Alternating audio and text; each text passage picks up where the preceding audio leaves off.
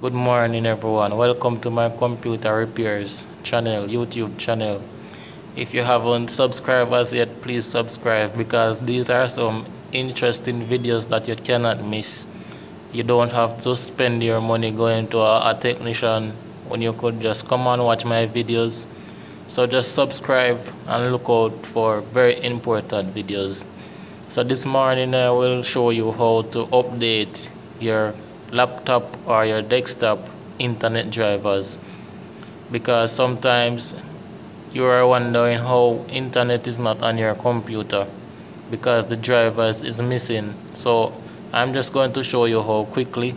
So you can just click on files which is Inter file explorer. Click on this PC you, you are going to right click and select manage.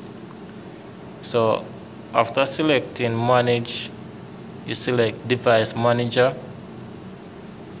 and you have a lot of um, drives here. So all these are they have their own drivers. So the internet drivers now we are going to look at network adapters. So of course I'm using a desktop. So this desktop doesn't have any Wi-Fi drivers but if you are using a laptop some desktops also have Wi-Fi drivers but mine don't have any.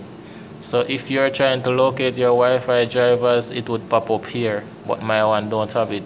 So what you can do is click on your Wi-Fi driver. You can right click and select update drivers.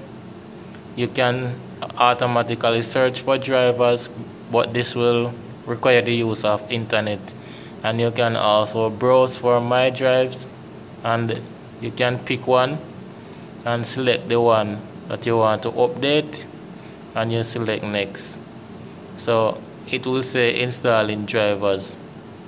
So if you're having internet problems and you just wake up one morning and you don't know what happened this is how you can actually update your internet drivers I hope this video was very useful. As I said if you haven't subscribed as yet please subscribe to my YouTube channel. I'll be posting more important videos. Have a good day